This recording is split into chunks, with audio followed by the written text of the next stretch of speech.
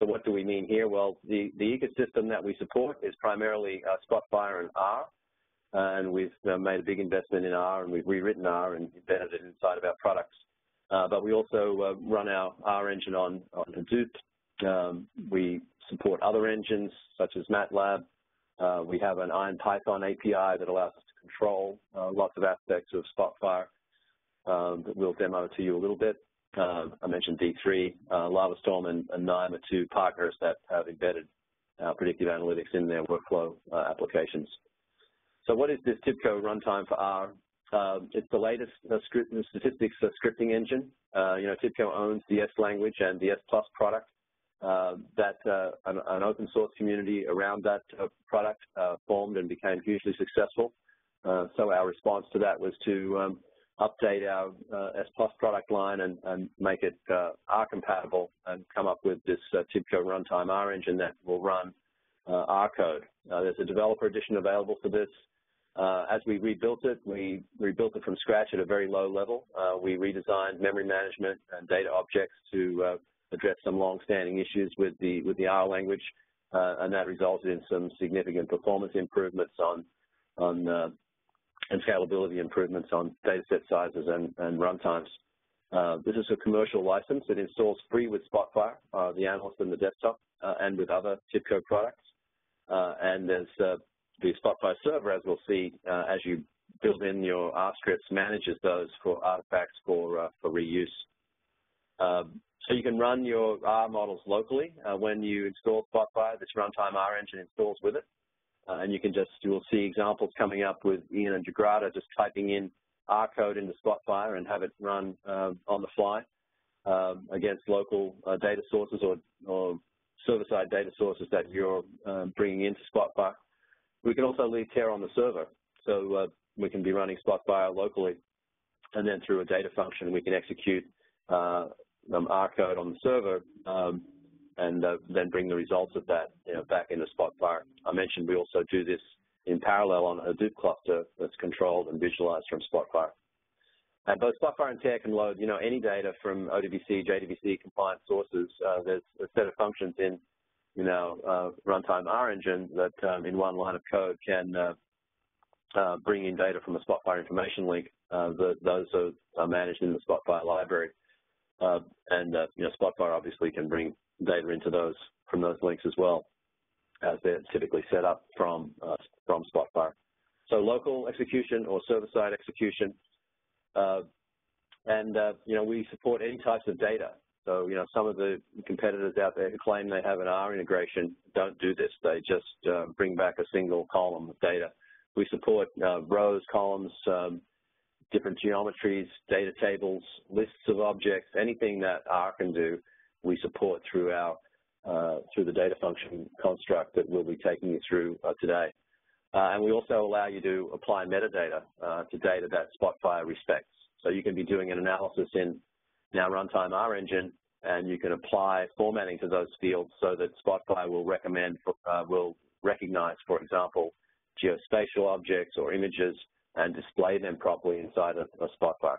So you have this uh, capability of, of, of, running open source um, R, uh, but you also have the ability to manage the formatting of that and the uh, back and forth so that um, your visual analytics in Spot, Spotfire can be uh, very rich. Now, you know, we use this runtime R engine for all types of things, you know, ETL and so on, um, but we, uh, you know, a lot of the value that people are interested in is from predictive analytics, so forecasting, summary stats, modeling, segmentation, and so on. Uh, and if you see the performance gains that I mentioned, here's we're fitting 5 million rows in a logistic regression. Here we're scoring 20 million rows. We're somewhere between 10 and 100 times faster in our runtime R engine, the TIBCO engine versus the open open source R engine. So what does this uh, uh, runtime R engine do inside Spotfire? You'll see examples today, especially from Jagrata and Ian, where we uh, use uh, the runtime R engine directly in a Spotfire expression, um, where you can run uh, uh, the runtime R engine through a Spotfire data function. Um, we can run it on Hadoop. Uh, it's embedded. You don't have to install it. You know, some of the other folks in this space will require you to go and install open source R somewhere and then jerry-rig this arm's length integration with it. Um, So it's none of that is required. It's just inbuilt. Uh, so Jagrata and Ian will take you through the idea of an inline expression where you actually just type R code inside of a, the expression dialog in Spotfire and have a, a graph uh, respond to that, you know, coloring, smoothing, those sort of things. Um, and there's many entry points for doing an expression in Spotfire all over the place. Uh, we'll also talk to you a little bit about expression functions where you can pick off a function that is already there and, and run that, um, or you can extend it. You can write your own uh, extension with R code and have that added into your uh, library of expression functions. We're also going to take you through the process of a data function. So an expression function typically brings back a column of data into the uh, data set that you're analyzing and you keep, you keep going. Uh, data function brings back anything. It can take, bring back lists, data frames, uh, those sort of things. We'll take you through the simple one, two, three process of creating some R code and testing that in RStudio uh, and Spotfire. Uh, we in, we have an integration with RStudio, so you can uh, use the uh, the runtime R engine that is part of your Spotfire installation directly in RStudio for development. Uh, and then the second step is then after you have that um, R code running, uh, you can then uh, map the inputs and outputs to your Spotfire data set and run that analytic directly in your Spotfire analysis. So this first step is, is, for someone who knows how to use R, but this second step of actually running that data function can be done by anybody who just is a Spotfire user. You get that leverage from folks who uh, uh, know how to program R to the rest of your entire company who wants to do those sort of analyses as part of their regular uh, Spotfire analysis. It just involves mapping the, the Spotfire columns to the inputs of the, of the function, the X variable, the Y variable, and then putting the output um, back into a, a, data set that Spotfire can continue to use. And then the end user just points and clicks then to see the re results of these powerful statistical analyses. Uh, we'll, you'll see various ones today, segmentation and so on. So any business user can then just click uh, buttons and then get the results of those of those powerful um, statistical functions. So really just one, two, three, you know, define the code, map the inputs, and uh, point and click to analyze. Now, once you have these, you can also save these in the library. You'll see some of this, but the, you know, the library can be organized. It comes with a bunch of things in it already, examples, uh, but you can then organize that um, in however you want in your company. And then these folders in the library can be given permissions to different groups. So you can have different um, functions available to different parts of the organization. Uh, there's a bunch of packages that get shipped with, uh, with our runtime R engine. Um, and uh, there's also uh, tools inside of uh, Spotfire to manage those. So inside of this a point and click operation, you can bring in different packages from the R community, manage your packages that you have installed in your TERR engine, go get more, um, launch your development environment from Spotfire to go uh, work with those packages. Uh, and you can organize your library with uh, the stuff that comes with it, but um, you know, samples, but then adding in folders for, say, geospatial, machine learning applications, and so on, and giving people different uh, access to those. So, you know, we did this uh, for a number of reasons. Well, you know, we have a lot of expertise in the S language, obviously, um, and so we had the engineering uh, capability to do it. Um, but secondly, just the way this community is exploding. So there's more than 6,000 contributed packages out there now. Um, you see the amount of activity on Stack Overflow from R versus SAS, and so this is uh, just a very active community. Now, another big community out there right now is Hadoop, um, and uh, lots of activity in that community, and so we combined the thing, the two things, and we built an application where there's a Spotfire template. You can point and click an analysis on Hadoop that uh, goes out to the uh, uh, runtime R engine that's installed on the, all the nodes and does the parallel computation using TERR and brings the results back into Spotfire for point-and-click uh, drill down. We actually won the, uh, the, the Best Advanced Analytics Application Award at last year's Strata Big Data Conference for this application. Uh, and is out there on the nodes of the cluster, Spotfire point and click to get to those and run these sophisticated analyses and then just interact with them in a point and click way in Spotfire. So as we've, uh, as TERR has matured, we've now got it running on, on, on the Hadoop cluster. It runs on the TIBCO Cloud Compute Grid inside of the TIBCO event processing products. I mentioned it's embedded in KNIME and LavaStorm and RStudio. It runs in Teradata, uh, Stat Services, Spotfire. It's uh, really becoming uh, embedded in a number of different uh, places. Uh, and when you combine this with some things like geospatial analysis, we can start to put um, um, advanced analytics on top of maps, and Ian's going to take you through some examples of that. Uh, you can do things like trade areas, like what's the drive time or drive distance around a, an individual store, and who lives in that uh, drive time or drive distance, and how might you market to them uh, to get them to come into those uh, stores, for example. So the final part of the maturity model, um, Ujwal is going to cover a little bit today, is the event analytics. So after you've figured out a model or the rules in, in Spotfire, you can then publish that out to our event processing um, products like StreamBase.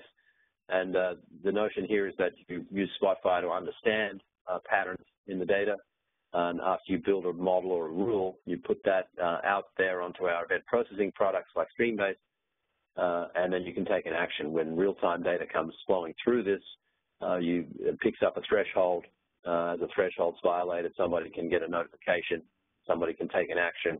You can monitor the results of this and continue to refine your model. So taking your insights from data at rest and applying them to data in motion. And we see a number of examples of this out there that we work on uh, all the time. Um, customer service, offers to customers, maintaining machinery, restocking inventory, optimizing pricing, checking for fraud, rerouting transportation, some of the examples here. And, you know, we do things like uh, trader surveillance. So as we figure out what are the patterns for, you know, front-running, trade washing, things like that uh, in Spotfire, then we can monitor those uh, on the real-time uh, fast data in motion to re you know, reduce um, the trading violations. So the patterns in Spotfire are, are identified and then published out to our stream-based application for surveillance uh, and some of the simple rules, you know, washing trades, spoofing, those sort of things uh, can be can be tracked. Supply chain. So we uh, do a lot of supply chain. We run a lot of um, logistics companies in in, uh, in, in the U.S. and worldwide, um, looking at say um, product inventory, the fuel use of the logistics carriers, how to optimize contracts, um, and minimize costs. So we do a lot of this kind of shipping. Uh, this is an example, managing the pit to port process and the tidal fluctuations for one of our mining companies.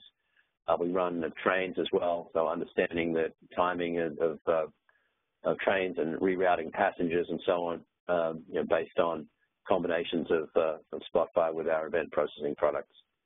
Uh, managing industrial equipment, so looking at sensor data coming in from equipment and understanding when what might be a leading indicator for a shutdown uh, and making an intervention to prevent that can uh, this reduction in non-productive time of equipment can be can be really significant.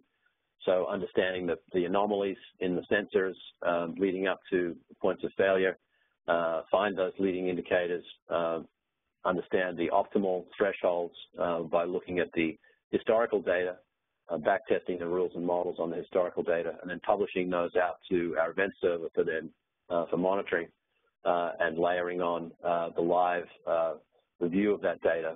We we have a live data mart that will take data in motion and manage it interactively for us. And we can send alerts out to folks in the field to in, in Spotfire running on mobile devices to keep track of notifications on the equipment. Um, and this applies to a bunch of different industrial equipment, you know, turbines and medical devices, you know, pumps in um, manufacturing facilities, uh, oil and gas companies, uh, that sort of thing. Uh, manufacturing uh, has its own uh, issues around modeling um, yield and defects, and we're able to model those in Spotfire and, and monitor those in line of the manufacturing process. And one nice thing is we can, any PNG file can be set up in Spotfire as a, as a graph, and we can layer things on top of it, like pie charts and other analytics. Uh, so this is a, um, a representation of a, a, refining process, crude oil coming out on the left, gasoline coming out on the right. We're managing that process and understanding the, uh, the downtime of it, and then publishing um, sensor events out to StreamBase and then trapping for those uh, as part of the um, ongoing fast data analysis. So we've done this in the refinery, we've done this in other high-tech manufacturing facilities as well. Uh, and then retail is just understanding a customer's propensity to purchase a product uh, and then uh, scoring those uh, transactions that occur on an on a online website um, shopping experience or inside of an in-store experience uh, and then making an offer to a customer based on their recent transaction. So looking at segmentation and propensity models uh, offline in Spotfire, understanding the targets of folks that might respond to a particular offer, uh, evaluating those models on the historical data, uh, and then uh, applying those uh, models, propensity models, into real-time data so that as a transaction occurs or an item is put into a basket on an online store, uh, that an offer can be generated to a customer. So this really gets to um, taking the raw data, uh, doing the analysis in Spotfire to come up with some information, uh, and then do the notification, monitoring, and so on, but also storing that information into building the company's knowledge uh, for continued analysis and, and evolution uh, to get to a smarter type of uh, operation. You know, at the end of the, the, day today, we're going to show you a little bit of our APIs um, about uh, how we can extend Spotfire through IronPython, for example, for um, doing things like writing data back to databases, toggling zoom sliders, adding um, markers and buttons to, uh, to Spotfire, for example.